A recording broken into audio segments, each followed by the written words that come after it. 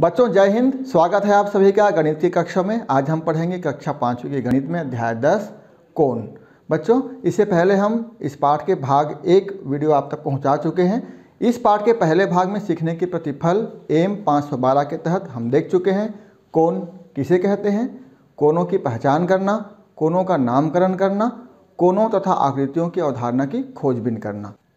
इस पाठ के दूसरे भाग में सीखने के प्रतिफल एम 513 के तहत हम देखेंगे कंपास किसे कहते हैं? कंपास की क्या उपयोगिता है?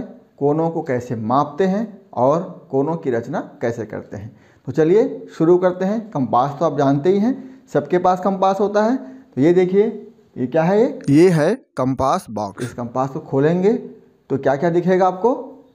बताइए। चलिए जो जो सामग्री आपको कंपास में दिखाई दे रही है, उन सामग्रियों के बारे में सबसे पहले जान लेते हैं कि उसे क्या कहते हैं और उसकी क्या उपयोगिता है। तो बच्चों, आप यहाँ पर देख रहे हैं एक चित्र, इसको क्या कहते हैं बताइए चलिए। इसको कहते हैं स्केल, पटरी या लाइन पट्टी। इसको कई नामों से जानते हैं। आप अपनी स्थानीय भाषा में जो भी कहते होंगे, लेकिन बोलचाल की भाषा में हम इसको स्केल कहते हैं। बच्चों, इसका उपयोग हम लाइन खींचने के लिए करते हैं या खींची गई लाइन को मापने के लिए करते हैं। आपको पता है ना? बिल्कुल। तो इस प्रकार से स्केल की उपयोगिता है और इसका उपयोग हम बार बार करेंगे या कहें कि इसका उपयोग हम हर बार करते हैं। बच्चों, इस आकृति को क्या कहते हैं? ध्यान से देखिए। ये आधा चंदा की तरह दिख रहा है। इसका नाम है चांदा। बिल्कुल सही। आप देख रहे हैं यहाँ पर, मेरे पास भी एक चांदा है। इसका उपयोग शिक्षक बच्चों को कक्षा में पढ़ाने के लिए करते हैं। और ये एक चांदा है, जिसका उपयोग आप लोग अपनी कॉपी में कोन बनाने के लिए करते हैं। ठीक है? तो सबसे पहले इस चांदा के बारे में जान लेते हैं। बच्चों, आप देख रहे हैं ध्यान से, यहाँ पर देखिए, नीचे इधर शून्य लिखा हुआ है और इधर एक शून्य लिखा हुआ है। दोनों शून्य एक लाइन से जुड़ा हुआ है। इसको हम चांदा का आधार रेखा कहते हैं या आधार लाइन कहते हैं। अब इस आधार लाइन के बीचों बीच एक बिंदु बना हुआ है। इसको हम आधार रेखा का मध्य बिंदु कहते हैं। जब भी हम कोई कोण बनाएँगे तो इस आधार रेखा का और इस मध्य बिंदु का बहुत ही महती उपयोगिता होती है। इसलिए हम इसको बहुत ध्यान से देखेंगे और समझेंगे। फिर आप देखिए बच्चों, यहाँ पर छोटे छोटे खाने बने हुए हैं। ये कुल मिलाकर 180 खाने बने हुए होते हैं आपके चांदे पर। और प्रत्येक खाने का मान होता है एक अंश। कितना होता है? एक अंश होता है। और देखिए आप यहाँ पर शून्य लिखा हुआ है। नीचे फिर दस, बीस, तीस, चालीस, पचास। ये कोनों को मापने के लिए यहाँ पर हम अंशों को दर्शाए हुए हैं। एक खाने का मान कितना होता है? एक अंश। दो खाने का मान कितना हुआ? दो अंश। यहाँ पर फिर देखिए, तीन, चार और पांचवा खाने का मान, जो छोटी, थोड़ी बड़ी लाइन दिख रही है आपको, इसको हम पाँच अंश का कहेंगे। ठीक वैसे ही दस खानों के बाद आपको दस लिखा हुआ दिखाई दे रहा है तो ये दस अंश का कोण यहाँ पर बनेगा, यदि हम इस चांदे से बनाएँगे तो। अब चांदे पर देखिए, दो तरह से हम पढ़ सकते हैं। एक तो इधर से पढ़ सकते हैं, शून्य, दस, बीस, तीस, चालीस, पचास, साठ, सत्तर, ऐसे एक सौ अस्सी तक। और दूसरा तरीका ये है कि हम इधर से भी पढ़ सकते हैं। यानी कि इस चांदे के माध्यम से हम दोनों तरफ़ से कोण बना सकते हैं। कैसे बनाएँगे? इसको जब हम करके दिखाएँगे, तब आप सीखेंगे कि दोनों ओर से हम कैसे कोण बना सकते हैं। तो बच्चों, ये है चांदे की बहुत महत्वपूर्ण जानकारियाँ, जिसका उपयोग हमको कोण बनाते समय करना है। बच्चों, देखिए, आपके पास इस प्रकार की भी आकृति होगी। आपके कंपास बॉक्स में, इसको हम सेट स्क्वायर कहते हैं। अब देखिए सेट स्क्वायर का उपयोग क्या है? हम इसके माध्यम से कोण बना सकते हैं। यहाँ पर देखिए, ये जो कोण बना हुआ है यहाँ पर, ये 90 अंश का है। यहाँ पर जो कोण बना हुआ है, ये 45 अंश का है। और यहाँ पर जो कोण बना हुआ है, ये भी 45 अंश का है। इस सेट स्क्वायर में एक कोण जो यहाँ पर बना है, वो 90 अंश का होता है। और ये दोनों कोण दोनों कोण बराबर होते हैं, यानी 45 45 अंश का होता है। ठीक उसी प्रकार से आपके पास जो है, उसमें भी वही बात होती है। अब एक और होता है इसी प्रकार से आकृति। अब देखिए, एक सामग्री ये भी है, इसको भी हम सेट स्क्वायर कहते हैं। आइए इसके बारे में भी जान लेते हैं। देखिए, इसमें भी तीन भुजाएँ हैं। एक भुजा ये है, दूसरी भुजा ये है, चूँकि नीचे इसके हम उसको आधार भुजा कहेंगे, और एक भुजा ये है। यहाँ पर भी तीन कोण हैं, ये वाला जो कोण है ये नब्बे अंश का होता है। यहाँ पर देखिए, तीनों कोनों का मान अलग अलग दिख रहा होगा आपको। ये थोड़ा सा इसके तुलना में बड़ा कोण है, ये साठ अंश का होता है और ये तीस अंश का होता है। सभी बच्चों के पास जितने भी सेट स्क्वायर हैं, इस प्रकार के सेट स्क्वायर, उसमें यही मान होता है। ये कोण नब्बे अंश का होता है, ये वाला कोण साठ अंश का होता है और ये वाला कोण तीस अंश का होता है। तो इसके माध्यम से हम नब्बे अंश का कोण बना सकते हैं। यहाँ से साठ अंश कोण बना सकते हैं और इसके माध्यम से हम तीस अंश कोण बना सकते हैं। बच्चों, कोण बनाने के अलावा इसका और भी उपयोग है। जब हम दोनों सेड स्क्वायर को एक साथ लेते हैं तो हम इसके माध्यम से ऐसी रेखाएँ खींच सकते हैं जो एक दूसरे को कहीं पर भी नहीं काटती।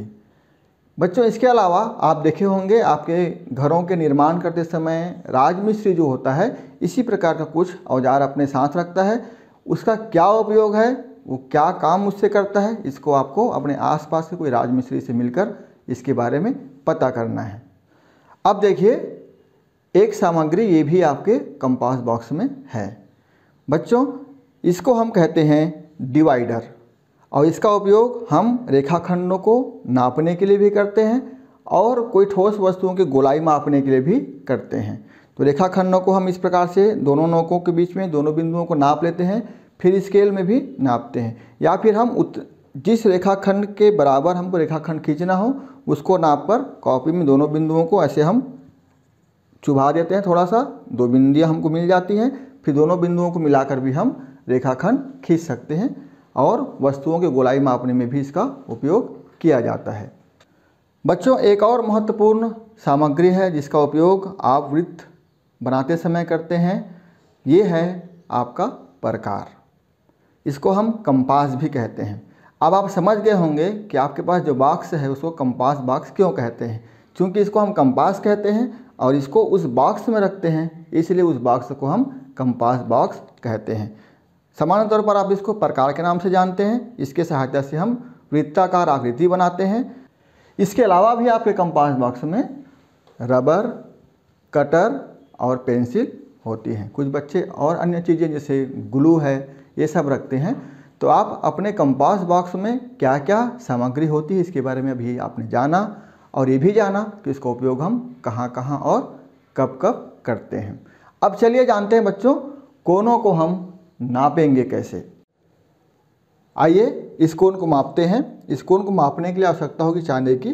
तो चांदे को हम कैसे रखेंगे? देखिए, ध्यान से ये जो मध्य बिंदु है आधार लाइन का, इसको हम रखेंगे बिंदु ए पर, क्योंकि कोण बिंदु ए पर बना हुआ है, और जो आधार लाइन है, उसको हम बिल्कुल इस ए बी किरण के साथ मिलाकर रखेंगे। अब देखिए बच्चों, यहाँ पर बिल्कुल ए बी किरण के साथ ये आधार लाइन बिल्कुल मिल गई है, और ये मध्य बिंदु जो है बिल्कुल ए बिंदु पर है। अब हम इस चांदे पर ये जो कोण बन रहा है, वो कहाँ पर, कौन से खाने में जाके ये लाइन मिल रही है, उसको ध्यान से देखेंगे। और पढ़ना शुरू करेंगे। देखिए, यहाँ पर शून्य है। पढ़ेंगे किधर से? जिधर से ये ए, बी किरण गई है। इस दिशा से हमको पढ़ना है। तो यहाँ पर देखिए, शून्य, दस, बीस, तीस और चालीस। जहाँ पर चालीस लिखा हुआ है, बड़ी लाइन, वहीं पर ये लाइन जाके मिल रही है। और ये बिंदु कहाँ पे आ रहा है? चालीस के पास। तो हम इसको पढ़ेंगे। इस कोण का माप होगा चालीस अंश। और हम यहाँ पर लिख देंगे चालीस अंश। इस प्रकार से कोण सी ए बी या इसी को हम कहेंगे कोण बी ए सी बराबर होगा 40 अंश। इस प्रकार से इस कोण का माप 40 अंश आया। तो बच्चों, इसी प्रकार से आपको विभिन्न प्रकार के कोण बनाकर, आप जब कोण बनाएँगे तो बिना नापे कोण बनाइए और इसको चांदा के सहायता से मापना सीखिए। साथ ही साथ अपने साथियों के साथ इसका बार बार अभ्यास करेंगे तो आप जो कोण को मापेंगे वो बिल्कुल सही रहेगा। अब चलिए, कोण को मापना सीख गए तो हम सीखते हैं कोण बनाना। इसके लिए आपको स्केल की आवश्यकता होगी, एक पेंसिल की और एक चांदी की आवश्यकता होगी। यहाँ पर आपको स्पष्ट दिखे, इसके लिए हम पेन का उपयोग करें बच्चों, क्योंकि पेंसिल आपको स्पष्ट दिखेगा नहीं। आप पेंसिल का उपयोग कीजिएगा। सबसे पहले हम यहाँ पर एक बिंदु बनाएँगे। आधार रेखा खींचने जा रहे हैं और इधर कहीं पर भी इस प्रकार से आप एक लाइन ले लेंगे सबसे पहले। एक किरण खींच लिया हमने। किरण की शुरुआत यहाँ से हो रही है, इसका नाम दे देते हैं हम ओ और इसका नाम दे देते हैं ए इस प्रकार से ओ एक किरण बना लिए हम। अब हम बिंदु ओ पर कोण बनाने जा रहे हैं। बिंदु ओ पर इसलिए हम चांदा के आधार लाइन के मध्य बिंदु को रखेंगे बिंदु ओ पर, बिल्कुल सीध में ऐसे। और जो आधार लाइन ऐसे रखेंगे कि वो एक किरण के साथ बिल्कुल मिलती हुई रहे। अब ध्यान दीजिए कितने अंश कोण बनाना है। चलिए हम सत्तर अंश कोण बनाएँगे। तो हम यहाँ से पढ़ना शुरू करेंगे। किरण की दिशा से शुरू करेंगे। शून्य, दस, बीस, तीस, चालीस, पचास, साठ और सत्तर। सत्तर अंश कोण बनाएँगे हम यहाँ पर। और देखेंगे सत्तर अंश कोण कहाँ पर जाएगा, इसका जो खाने हैं वो, ये यहाँ पर आ रहा है बिल्कुल लाइन में, सीध में। यहाँ पर एक बिंदु बना देंगे हम और इस बिंदु को फिर हम स्केल की सहायता से मिला लेंगे। इस तरह से ऐसे रखेंगे ताकि वो बिल्कुल सीध में मिले। ये इस प्रकार से एक और किरण हमने खींच दिया, ये है बिंदु सी तो आप देख रहे हैं इस कोण की दो भुजाएँ हैं, भुजा ओ ए और भुजा ओ सी कोण कहाँ पर बन रहा है? ये बिंदु ओ पर। कितने अंश का कोण बना? सत्तर अंश का। यहाँ हम लिख देंगे। बच्चों, शीर्ष ओ पर कोण बन रहा है, इसलिए हम इस कोण का नाम देंगे कोण सी ओ ए या हम इसको कह सकते हैं कोण ए ओ सी ए ओ सी आप सोचते होंगे कि शुरू में ये क्या बनाते हैं? इसको हम कोण पढ़ते हैं। यहाँ पर भी हमने जो बनाया, इसको हम कोण पढ़ते हैं। तो जब हम कोण का नामकरण करेंगे तो इस प्रकार से संकेत को हम कोण पढ़ते हुए कोण के नाम को लिखेंगे। तो कोण बनाना आप सीख गए होंगे तो आप ऐसे ही कोण और बहुत सारे बनाकर अभ्यास करेंगे। बच्चों, यहाँ पर देखिए, आपके अभ्यास के लिए कुछ प्रश्न दिए जा रहे हैं। नीचे दिए मापों के कोण बनाइए। चालीस अंश, पचास अंश, सत्तर अंश, पैंतालीस अंश, अस्सी अंश, पचहत्तर अंश, नब्बे अंश और सौ अंश के कोण आपको बनाना है। इसको बनाने के बाद आप चाहें तो आप अपने मन से भी विभिन्न मापों के कोण बना सकते हैं। जब कोण बन जाए और आपका अभ्यास बार बार हो जाए, तब हम आपसे चाहेंगे कि आप अपने घर के आसपास दरवाज़ों को, खिड़कियों को देखिए, अपने विद्यालय में ब्लैक बोर्ड को देखिए और अंदाज़ा लगाइए कि वहाँ पर कौन कौन से माप के कोण बन रहे हैं। और वैसे ही कोण बनाने का आप अभ्यास करते रहेंगे। तो यह जो पाठ है कोण वाला पाठ वह आपको अच्छे से समझ में आएगा और आप कोण के अवधारणा को अच्छे से समझ पाएँगे। आप अपने पुस्तक में भी देख सकते हैं कि वहाँ पर कौन कौन सा कोण बन रहा है। जो भी सामग्री आपको दिखाई दे रही है, दरवाज़ा दिखाई दे रहा है आपको, वहाँ पर भी आप कोनों को देखें और आप जो कोण बनाए हैं, क्या उसके साथ वहाँ के कोण कुछ मैच हो रहा है, इसको अपने साथियों के साथ चर्चा कीजिए। तो उम्मीद करते हैं कि यह पाठ आपको समझ में आया होगा। मिलेंगे अगले पाठ में नए वीडियो के साथ। तब तक के लिए आप सभी को जय हिंद।